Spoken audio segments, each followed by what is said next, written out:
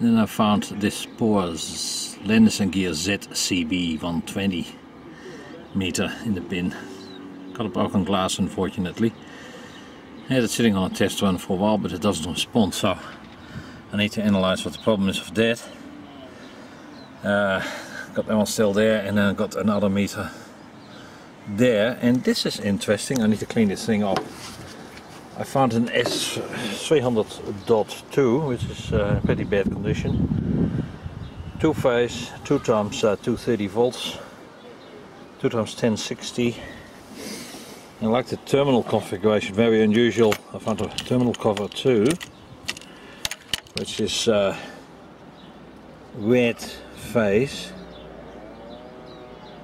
on the left two, blue phase is on the right two and the neutral is on the middle terminal. So if we look at this, that's red phase in out, neutral in, neutral out, blue in, blue out. And the normal neutral ones have been blanked off.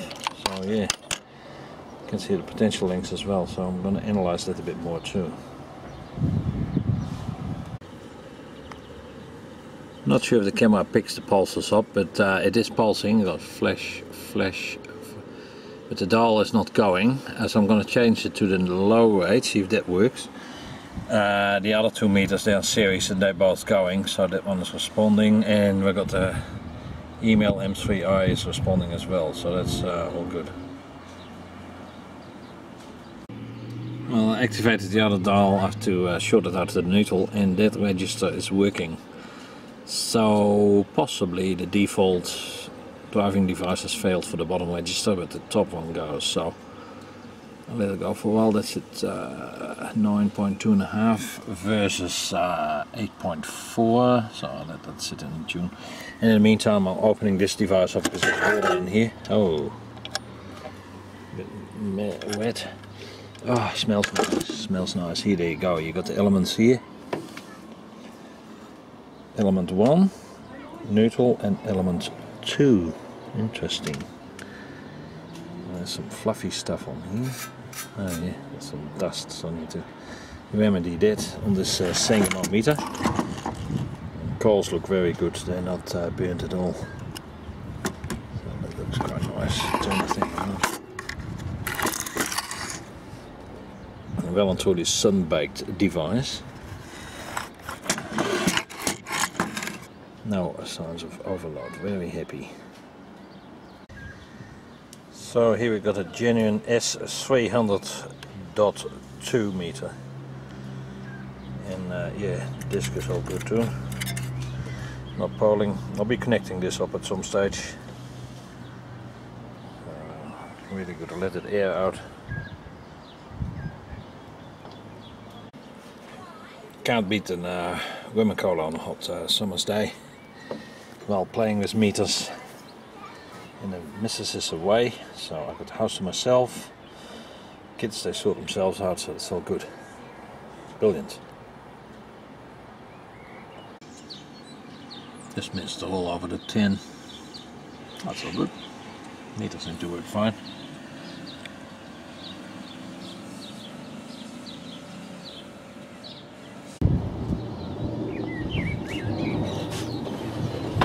Right, this is a bin find. Um, unfortunately this meter got smashed up. I did have it on the test panel uh, last week. It was moving not on the low rate, on the this rate, but it was working on the other rate. So let's see if we can open this device. Let's see if we can repair it. A bit of hammering. Damage on the nameplate.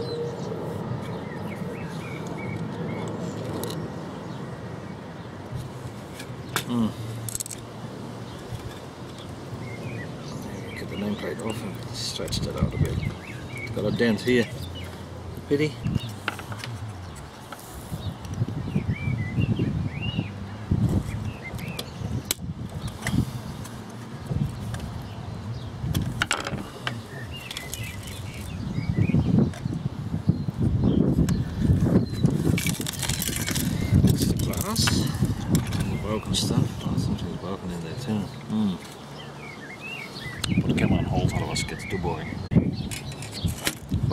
nameplate off.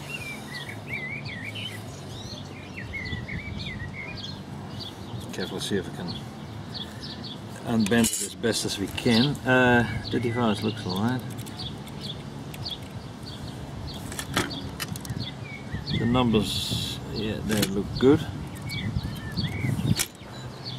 Interesting extensions on the LEDs here.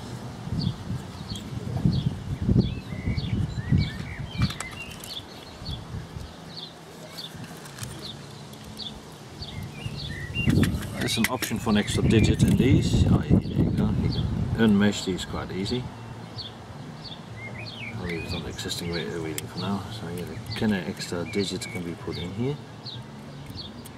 I've probably got another number for it, so I can make this as an 8 digits. How many numbers will fit in there? At least another one.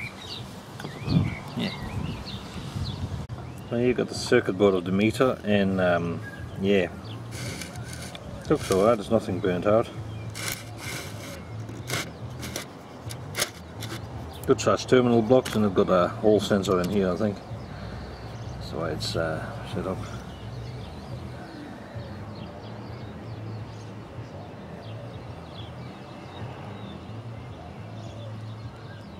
Can't beat natural light.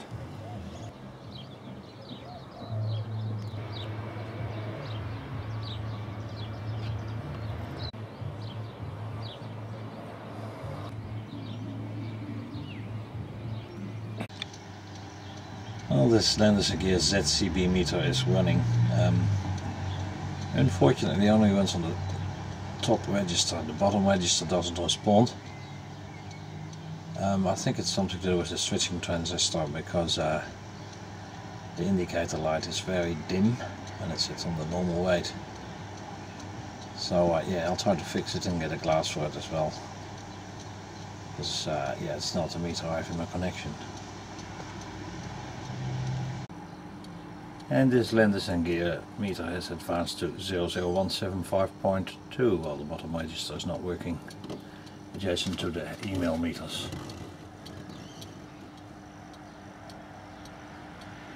Which are the check meters on this particular setup.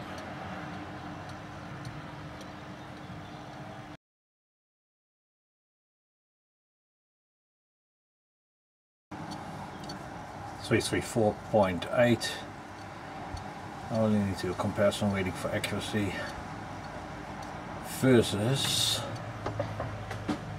9341.7 thereabouts.